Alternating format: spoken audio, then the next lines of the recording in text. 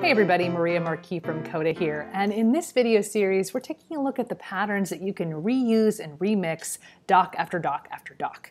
So the pattern we're talking about today is a pulse check. So let's take a look.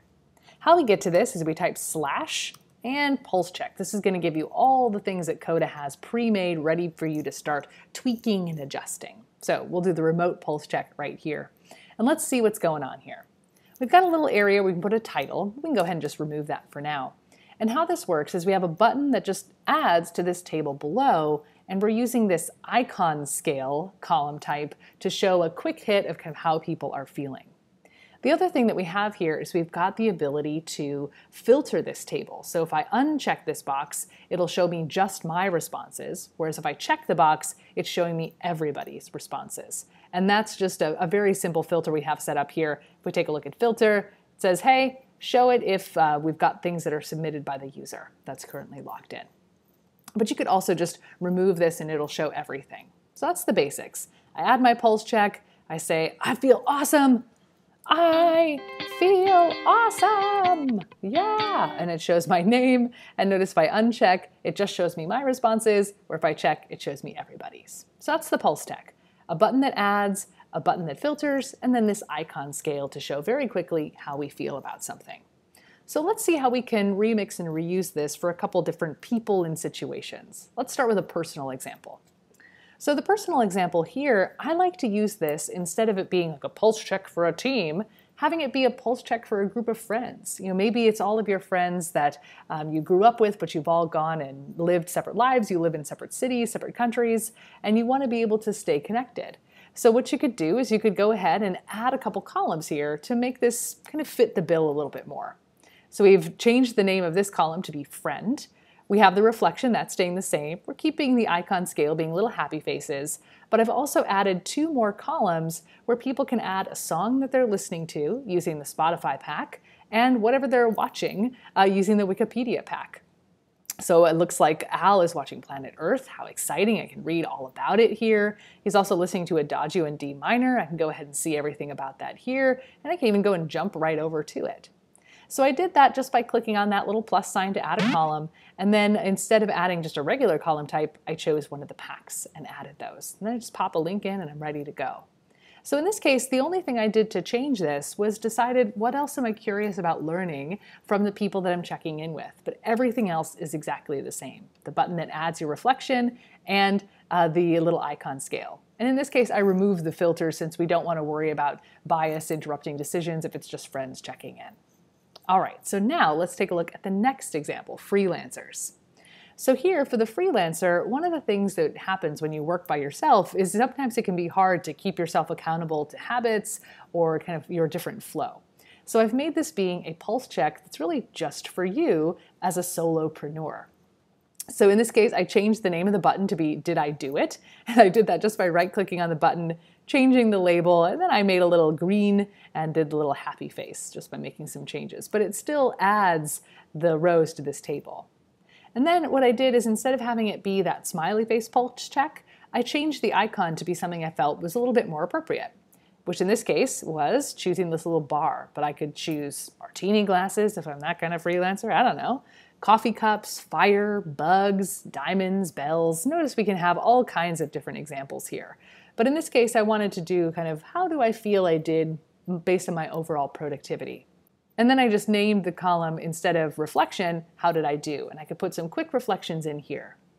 The other thing I decided to do was I decided to create a view that was a chart of that table. And I did that just by typing slash and chart and I chose line chart, and then I just decided to pull from my uh, sentiment tracker. So I did that previously. And so I can see, like, overall, how am I tracking over time? So I can start to see maybe on Mondays I'm really productive, maybe on Fridays I'm not, and just sort of learn from my habits, creating this little habit tracker here.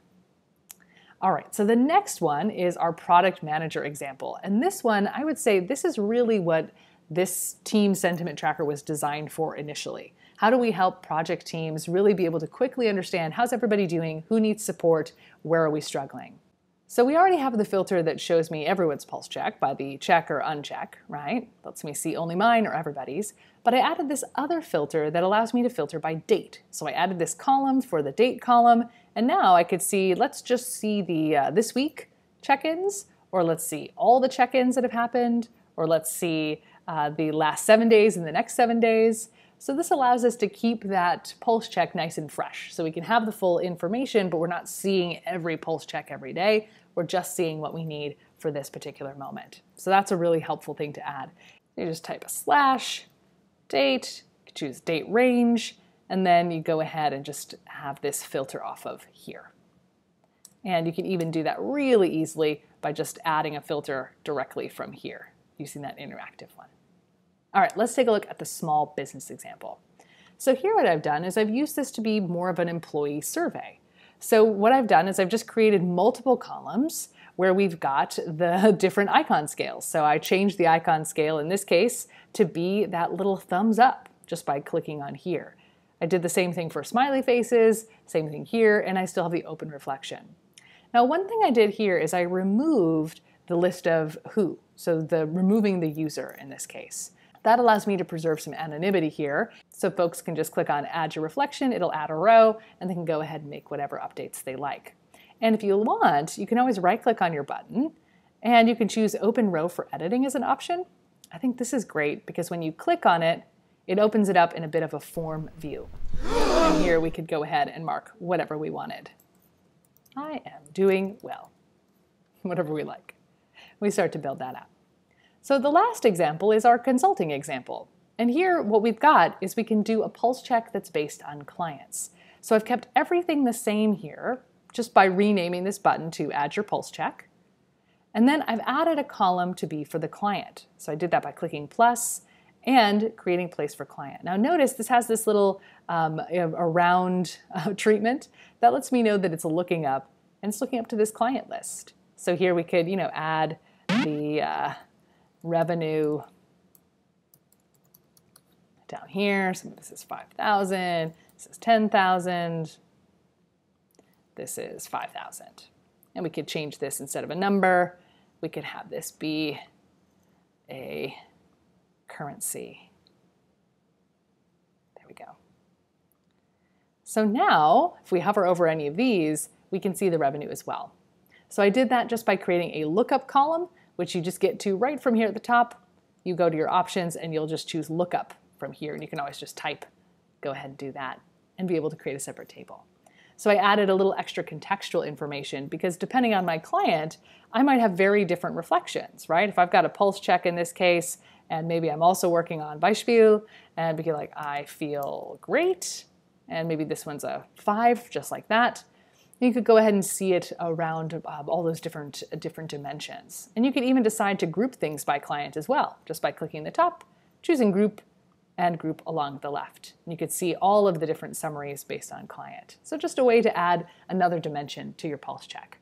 So with that, go ahead, add some pulse checks to your own docs, see how you like it, add some different elements. Remember, it's all about that icon scale to give you a quick look about what's going on.